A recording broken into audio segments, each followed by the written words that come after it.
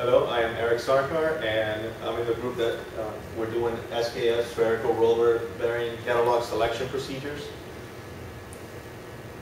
Now, SKF stands for Svenska Kullagerfabriken, which is uh, the largest supplier of roller bearings. It's in 130 countries. It has 100 factories in 70 countries, 15,000 distributors, and 40,000 employees. Now, the history of roller bearings uh, started probably in Egypt, uh, where they they think that they used it to build the, the pyramids. Now it was crucial to the use of roller bearings for architecture since it transferred the sliding contact of a main load to a less frictional rolling contact. Now the first roller bearings that uh, were found were in uh, 40 BC, uh, Romans used it in turntables. And then in the 15th century, uh, Leonardo da Vinci uh, had a design which we see here and used it on a helicopter design. In the 16th century, Galileo described the first cage ball bearings design, and which decreased friction and it kept the rolling elements from contact with each other. Now, in 1794, Philip Vaughan uh, patented the first ball bearing, and he patented to be used in the wheels of a, of a bicycle. The bicycles were uh, manufactured by Friedrich Fischer in 1870. And now the problem with these is that they were man-made. Each bearing was made by hand. So they weren't very reliable. The life, the lifespan of each bearing would would be cut short by the friction caused by the uneven uh, sizes of the balls. Now, in 1907, Sven Wingquist uh, patents the multi-rows of aligning radial ball bearings and founds SKF. Uh, that's him uh, designing, and this is his actual design. And by 1920, SKF was already in four continents. Now, worldwide distribution makes uh, standards necessary as more and more companies started springing up most of the times they were made specifically and customized for a certain machine. Now, by 1933, the Anti-Friction Bearing Manufacturer Association, or AFBMA, uh, started to try to standardize sizes so that companies would be able to build faster and, and quicker. Know? And then that became the American Bearing Manufacturers Association in 1993. Now, Fischer Aktien-Gesellschaft allow, uh, allows reliability to become a more significant factor. By make, they discover a, a way to make the bearings by machine so that they're all the same or close to being the same. And it makes manufacturing much easier, quicker. And now the, the initial selection was really more about load and size. But this allowed uh, reliability to be a, a considerable factor when selecting uh, ball bearings. And uh, as speed as speed as a consideration also came into part as lubrication techniques were developed. Hello, my name is Kelsey Vasquez, and uh, right now I'm going to speak about the current designs of ball bearings. The four basic designs that we have of ball bearings are spherical, cylindrical, tapered, and needle. Uh, so the first type of bearing that we have is the most common one. Uh, it's the cheapest. Uh, cheapest design is called the open bearing.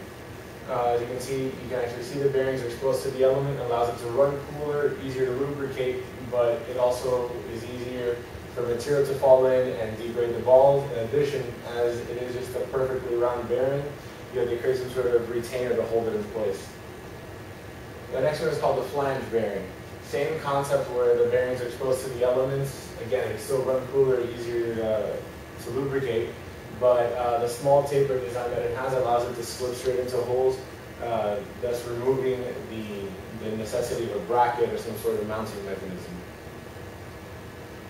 Uh, the next one is the double shielded bearing, similar to the open bearing, but instead of the element, instead of the bearings actually being exposed, there's a small metal plate that protects both sides. Uh, this gives it a more robust design. It doesn't allow material to fall into it. The but the one drawback is lubricant can't be replaced and uh, the speed is dropped drastically due to, due to the actual shielding. Another big concern is that uh, if the bearing is exceeded in temperature or in speed, the lubricant inside will start to burn up, and that could actually drastically uh, degrade the life because the burned lubricant is now inside. Uh, the next one is a double seal bearing, similar to the uh, to the shielded bearing, but instead of metal, this uses plastic. Uh, the advantage of plastic is that it's actually quieter. Uh, the speed is is reduced even more than with the metal one, with the metal bearing would be used, but uh, this one will reduce noise. And our final design isn't specifically a roller bearing for uh, horizontal use. This is more used in vertical uses where this bearing will sit on the bottom of the base and the bearing and the axle has a flange and that rests on top of the, of the bearing. Uh, as you can tell, these are very thin and the, they're designed for large impacts, large vertical impacts. The cons is that they can be very fragile and due to their design, the debris can easily slide in from the sides. Uh, the three biggest steps are choosing the style and design of the bearing, finding what your limitations are, and from there on finding what the standards are, the standard sizes that are readily available. Uh, the most common limitations are the outer diameter, inner diameter, and the width. Also we have the flange sizes, which would be the outer diameter the thickness, how much load, the speed, and the price. So for our two examples, the first one we're going to be using is a bicycle wheel, as it was one of the first ideas, uh, one of the first bearings that were designed. So for bicycle wheels, the design is a flange design, as you can see here, and this fit, this side will fit into a hub, which would be the Y bracket of the bicycle, and it has a bolt that passes through that locks it in place. So the, the limitations that we have are the inner diameter, which is from 10 millimeters to 20 millimeters, because that's the standard size for all uh, bicycle shafts. Uh, in addition to that, we have the flange outer diameter, which we said, which we limited to the outer diameter plus one eighth of an inch, just to leave it as small as possible, and so that we don't run into the spokes. Uh, the next thing we have is the flange thickness. Again, we want it as thin as possible, as to not allow, uh, as to not take up too much space horizontally. And the dynamic load, we put 100 pounds. There are four of these bearings, two on each side of every wheel. So 400 pounds total, that's equivalent to an average sized man taking a hard impact. Uh, and finally, the last thing we have is 50 RPMs. 50 RPMs is approximately 40 kilometers per hour, 45 kilometers per hour. So this, uh, those are our limitations. Uh, we use these values and put it into the McMaster bearing search engine and first thing we put is a 3/8-inch diameter shaft. Uh, once that was put in, we already had a limiting range and weight, speed, and once we had those three, we really couldn't narrow it down more. So all we really had left to do was choose the flange thickness, the outer diameter uh, of the bearing, the flange diameter, and the width. Uh, using these, uh, we were able to get a, a flange diameter of 1 6th of an inch, and we have four products, or six different selections left over. Outer diameter, we have two choices. Width, we have two choices. And flange outer diameter, we have two choices. Our second example is a bandsaw wheel. Uh, the difference between this type of bearing and the one used in the bicycle is that this bearing actually fits inside of the wheel and is bolted on from both sides. So the biggest concern that we're going to have on this design is the material to be flowing through the wheel, or around the wheel, due to the fact that you are cutting up wood or metal or rubber or any type of shavings will be moving around there. So a seal design would be our, our ideal choice. We can choose metal or rubber, but we would prefer metal for this type due to the, uh, the, the, the, more industrial application. Our outer diameter, inner diameter, and width are all open choices. We don't really have any specific choice. The one thing we do know is that the dynamic load is 250 pounds. This is the weight of the blade under tension and also the max RPM that we need is 3,500 RPMs. Uh, when putting these two speed, the speed and load into McMaster, we were able to get that the smallest outer diameter that we can have is a 2932. Uh, we can choose a larger size, and the smallest width we can have is a 5 16 um, Obviously, the, the, the, width of the bearing would be ideal if it was the same width as the wheel, so that could be calibrated for that. In addition, the inner diameter, we have three possible choices, 5 16 3 8 and 7 16 We know that at any of these three sizes, we will be able to hold between 250 to 500 pounds, and that we will reach the desired speed. It's a conceptual design. Uh, we did a, a Wingquist bearing. Uh, the special part about this bearing is that it has two rows of ball bearings, uh, and the objective is for it to, first, it can support more weight, and also it centers itself, uh, it auto centers itself when it's spinning. The one that we designed here has a one and a half inch inner diameter to an inch outer diameter, half inch thick, and has 90 ball bearings in each row, so total 180. And the way that it, it actually works is that there's a small curvature in the inside of the bearing, and when the balls are running straight, they can they run on the flat section when everything is, is lined up. When it gets out of alignment, the ball will run onto the curved surface and cause a normal force to push it back in. Uh, this design is normally used in very special applications. Hello, my name is Ben Young, and I will be talking about the feature design. So, as my previous colleagues have mentioned, uh, there's different uh, applications for the the spherical uh, bearings. Here are some designs done on simulation software. So currently there's many, uh, the selection process is very basic. It's very straightforward. You can use uh, reference handbooks, there's catalogs, and now there's even online searches. Uh, we use uh, McMaster and SKF also offers uh, online search. You just have to input different uh, different uh, parameters, and then it just searches during in their catalog for the specific design.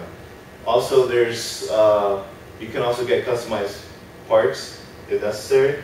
So in the future, the possible application for the selection process, it could advance to a possible uh, advancement could be to actually make the bearing onto the onto a model on using SolidWorks, AutoCAD, ANSYS, any type of preferable uh, simulation software, and you can actually test out uh, if it will up, it will it will handle the load, if it will fail at certain cycles.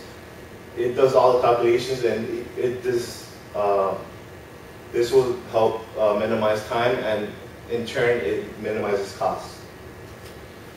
So back to the limiting factors, it's important, it's very important to address those because you, you as a consumer or an industry, you're looking into buying spherical bearings, you have to know what, what, what purpose will it serve, what function it is. Because if you don't address that early on, uh, it could be very catastrophic.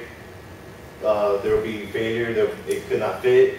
And here, is a chart provided by SKF on their website.